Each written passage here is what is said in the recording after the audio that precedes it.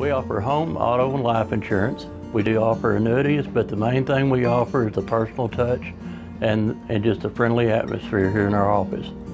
We are located at 1213 Primrose Lane, Suite 102, right off of University Drive. The reason I got into the insurance business is to be able to offer a personal service and be a friend to our clients as well as an agent. We try to treat each of our clients as if they are a friend and not a premium or dollar sign. We want them to know that we are here for them and we can assist them with any of their insurance needs.